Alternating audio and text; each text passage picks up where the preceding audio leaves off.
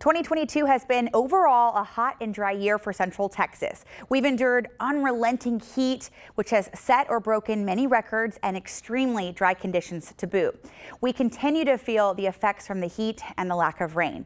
In this week's episode of Degrees of Science, we talked to Erin O'Connor, Program Specialist 3 and Emily Wall, Chief Operating Officer, both for the Forest Resource Protection Division of Texas A&M Forest Services. From responding to wildfires to the ongoing recovery, this organization strives to protect Texas from wildfires and other types of disasters. I want to welcome you both ladies. I know this has been an extremely hot and dry year, like we just said, for Texas. Can you tell me a little bit more about this season as a whole? Oh, absolutely. Um, yeah, thanks so much for having us to, to talk about this today. Um, so 2022 has been a very busy year. Um, it's certainly one of the most significant wildfire seasons that we've had in the state of Texas, um, definitely since 2011, which I think um, most Texans remember, especially if they were living here. Um, all year, the number of wildfire responses and acres burned was above normal. Um, so we were just at an elevated pace all year. Um, and it's actually something that kind of set up and started in 2021. So during the summer of 2021, we received a significant amount of rainfall, um, which caused growth of our grasses and forbs across the state. And so then when we had the freeze come the winter of 2021 into the new year, um, that created a catalyst for our winter spring fire season. Um, and with underlying droughts and just really intense conditions this year with drying and hot temperatures and winds and frontal passages, um, it just created an, an, environment that was conducive to wildfire activity. Um, and we just saw continued activity throughout the entire year. Yeah, you mentioned you saw just abnormally busy season. Tell us a little bit more about the process that you guys undergo when you have multiple fires or large fires that you have to contain immediately. Kind of that's a lot of coordination, I know, with you guys too. What does that process look like overall? Yeah, so in the state of Texas, we use what's called um, a tiered approach to wildfire response. So our local fire departments and our counties, they are the first responders.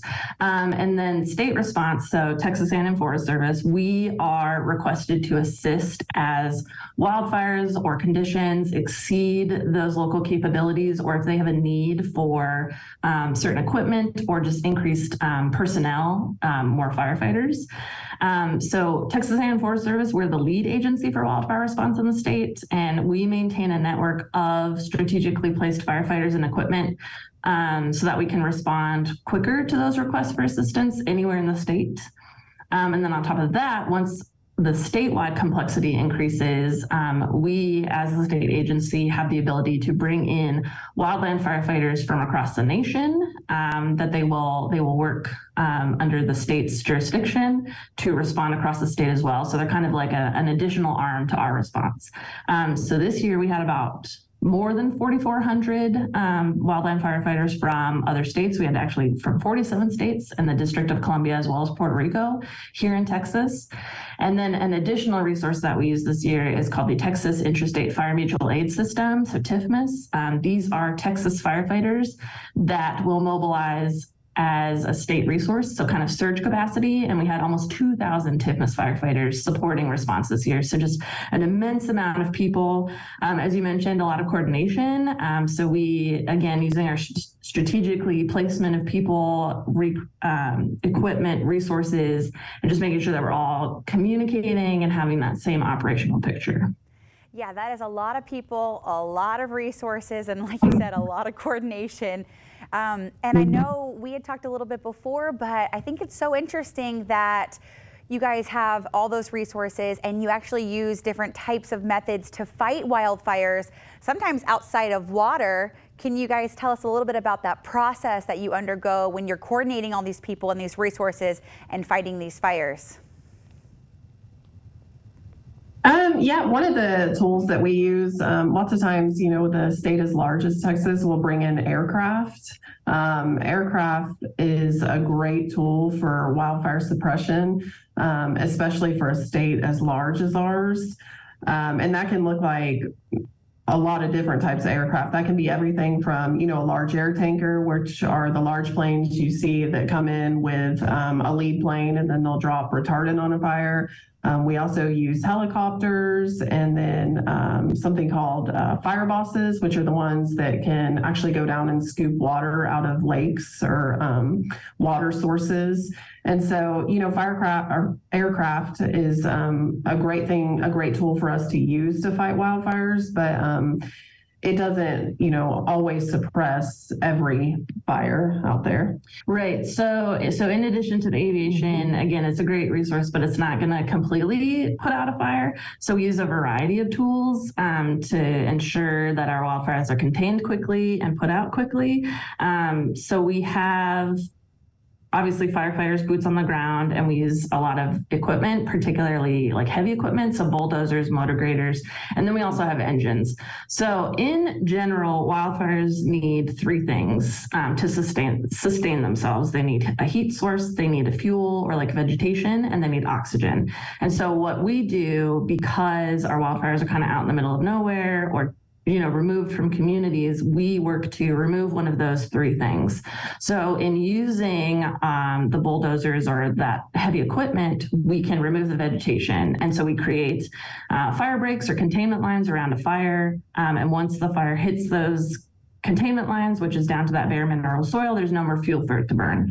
Um, engines we have a limited um, amount of water that we carry in our engines, um, typically used to kind of follow behind the heavy equipment to do what we call mop up or um, just ensuring that some of those hot spots that are near those containment lines are put out. So they're removing the heat source. Um, and then we also do what is called, or what we call referred to as um, a tactical firing operation. So this is simply fighting fire with fire.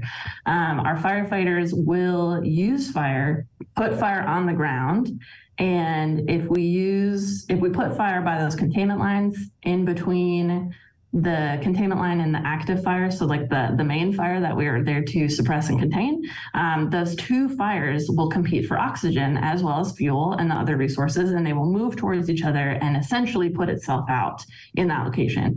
Um, so that's a really good way, a really good tool for us to fight the fire when we're kind of out removed from communities. And it also just ensures that that containment line is going to hold if there's a wind event or, um, you know, if anything happens, we can make sure that fire doesn't cross that line there.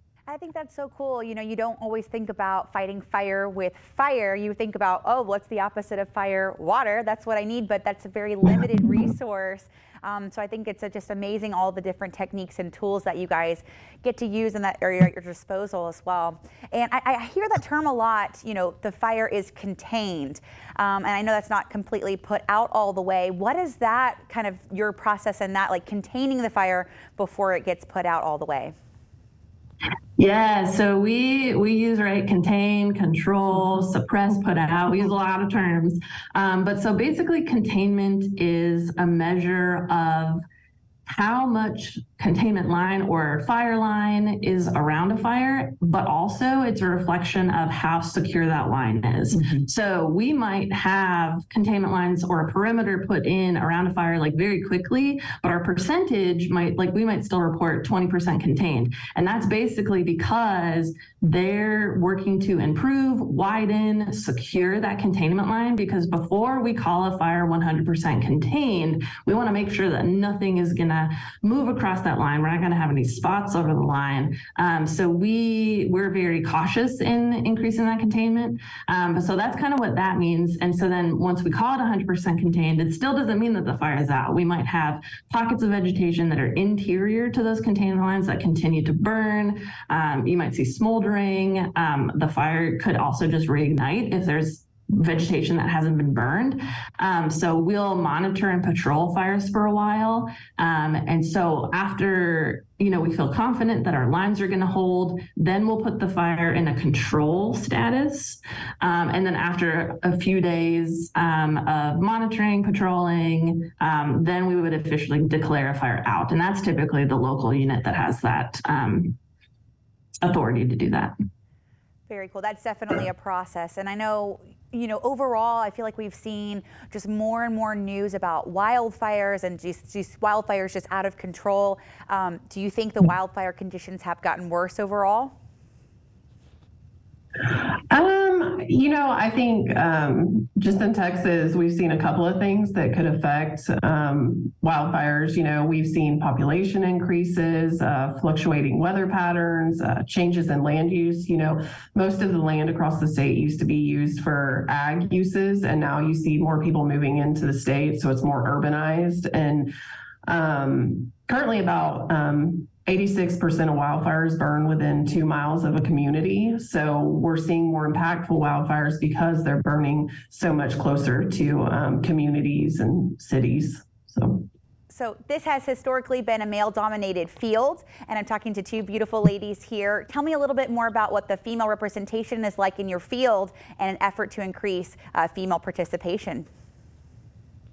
Yeah, sure. So, Texas A&M Forest Service, our leadership really uh, seeks to increase diversity across the wildland firefighting profession. Um, you know, according to the NFPA, National Fire Protection Association, um, women represent less than 8% of all U.S. firefighters. Um, you know, even in our own agency in Texas A&M Forest Service, um, there are very few women in leadership positions. So we're um, always looking to increase um, diversity just across our agency as a whole. Um, you know, one of those ways that we've tried to do that is uh, an event that we recently hosted called Sisters in Fire. Um, and it's an event that's aimed at uh, youth that are age uh, 12 to 17 to kind of teach them a little bit about the different tools, um, you know, dozers, um, equipment, everything you use, as well as the wildland firefighting culture.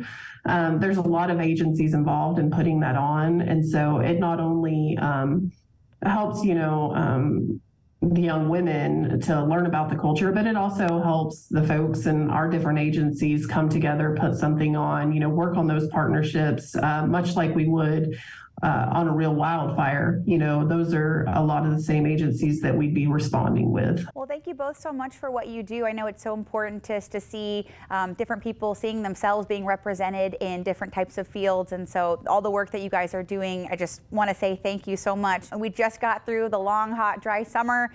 We're already dry going into fall. Can you guys tell us a little bit more about what you kind of see happening for the rest of the year, maybe even beyond? Yeah. Um, so the forecast is showing that we anticipate the next few months to be um, warmer than normal and to have um, minimal precipitation. We're anticipating that we're going to be seeing wildfire activity um, through the end of the year, perhaps into the new year, especially when we start to get those freezes again. We should get some moisture that should hopefully kind of keep things um, you know a little damp a little a little slower pace than we saw maybe earlier this year mm-hmm. um, but that wildfire activity is there um, so we definitely really need everybody's help just to be cautious as we move into these months um, i think right it's easy to kind of get complacent when yeah. we're not in that full out mode like we were this summer yeah and what are some things that we can do to help fight the wildfires, help to prevent the wildfires as we get into this, like you said, more dry weather as we go towards the end of the year and towards the new year too. Right. So um, Texas A&M Forest Service, we we encourage everybody to be aware of what's going on. Check your weather forecasts. Um, you know, if it's warm, if it's dry, if you haven't had rainfall in your area, um, maybe postpone any activities like if you're de- burning your debris or anything that can cause a spark. Um, just wait a couple days until things maybe get a little bit better. Um, we encourage everybody to check for burn bans. Those are really important to um, and those are put on by the county. So your county should have information. We also post um, a daily map on our website that um, gets updated as things are reported to us. So you can check there. But um, checking for burn bans, any other burning restrictions, um, watching your conditions, and then just being really mindful of activities that can cause a spark. Um, it's usually the things that we don't always think about um, that can create a wildfire or an ignition source. and if you are going to be doing anything outdoors, just just being cautious, having a water source nearby, maybe clearing that vegetation or any other hazards from the area so that you're less likely to have uh, an ignition that grows into a wildfire and escapes from um, your area. Absolutely. A lot of great advice from Erin and Emily, and a lot of great information on what you guys do on a daily basis. And we definitely want to thank you guys for all the efforts you do to keep us safe from wildfires and other disasters as well. Thank you. Thank you. And thanks everybody for tuning in to this week's episodes of Degrees of Science. We'll see you next week.